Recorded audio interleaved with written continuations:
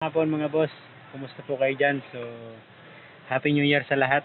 Ah, pasensya na mga boss. Busy lang ngayon lang nakapag ah, ah, vlog mga boss. Okay, so bali nandito tayo ngayon sa ating project sa Mahugani, Bilas, ah, Barangay Lo, Calamba City. So, silipin natin yung ating ah, project dito mga boss. So, boss, may dala tayong ah, pang flashing tapos sa insulation para dun sa ceiling mga boss. Okay?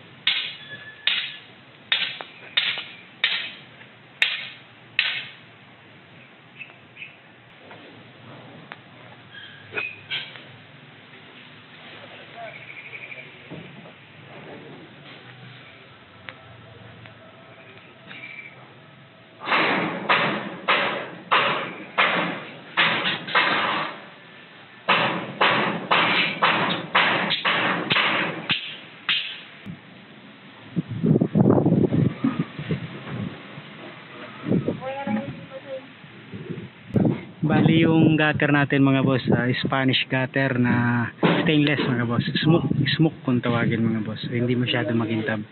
So bali yung cut nito ay cut 24 mga boss. Okay, so Spanish gutter.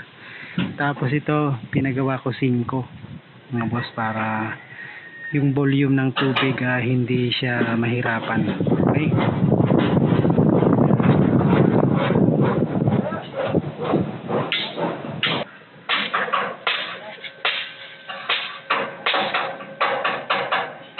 Kasi lang mayroon pa isa.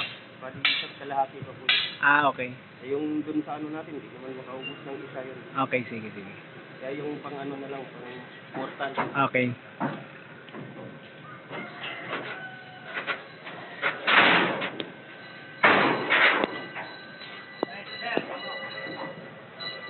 Adhesive lang, adhesive.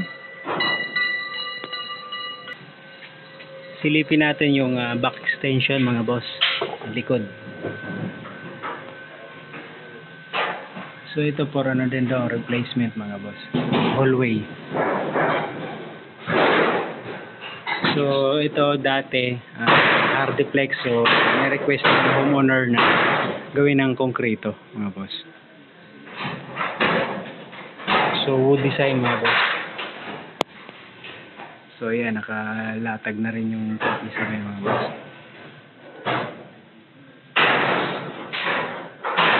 Tapos, yan, pinatiles yung pinakang dito, bali sa laundry area. So dito mga boss open lang to. Para singawan ng ano ah hangin, okay mga boss.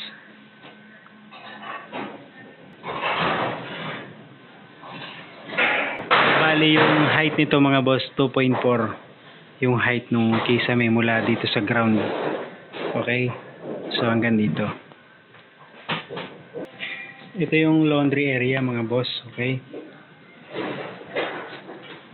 So, bali dalawa yung pinakang ano niya. So, isa para dun sa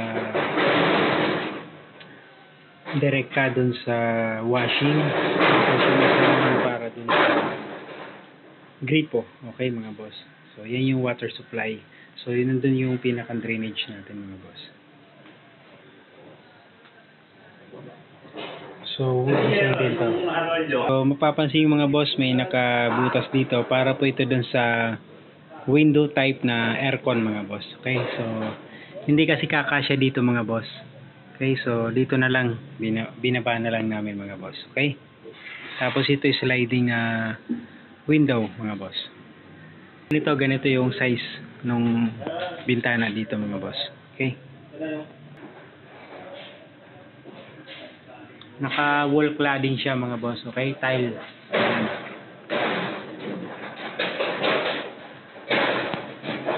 Naman yung roofing niya mga boss sa streamline. Okay, so streamline to. So ito yung open area mga boss yan. Ito yung lalagyan ng grills mga boss. Tapos open lang siya. Dito maglalagay dito ng ah, canopy. Okay. So open ito, open. Tapos streamline mga boss.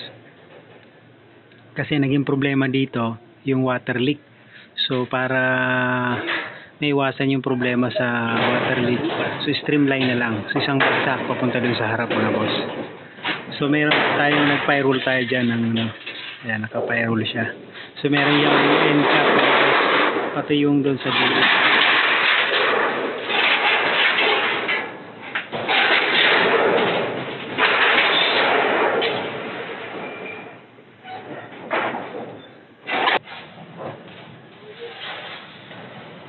So, bali yung nakaano yung mga boss.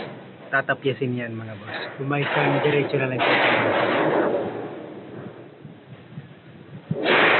So, bali yun lamang po mga boss, yung ating project updates dito sa Mahogany Villas, mga boss. Barangay Looc, Calamba City.